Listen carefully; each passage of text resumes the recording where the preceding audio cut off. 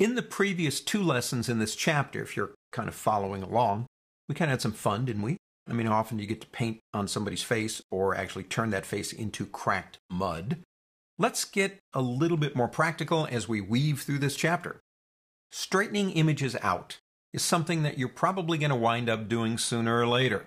Let me give you in this first lesson three very common, very easy ways to accomplish that. So I've got two images open from your exercise file.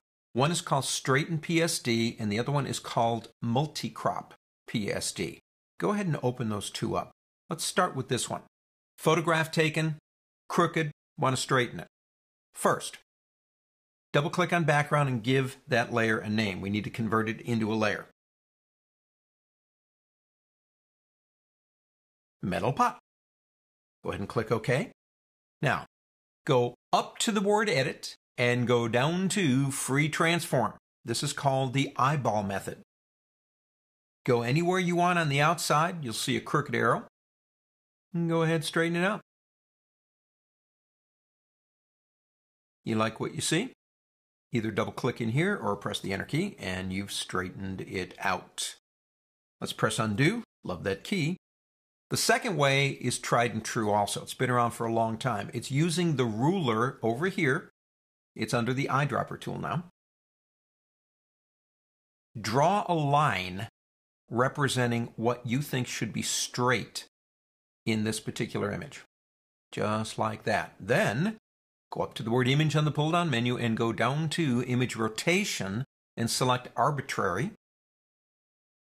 2.79 is what I drew. That number comes from the ruler. Clockwise, we'll spin it in the direction we want. Click OK. You've straightened it out again. Now, the third way is a little bit more complicated, or you might think it is, but actually it's easier. And that's this image right here, multi-crop. Somebody threw a whole bunch of images on a scanner and said, Andy, can you pull these out for me? And you go, not only do you want me to straighten them, you want them as separate files. Yeah, that's not hard, is it? You own Photoshop. I can't tell you how many times people think things are easy when sometimes they're not, or vice versa. This one's easy. The images must be separated so that Photoshop can find the edges, just like these. If you've got something like this, you're one click away.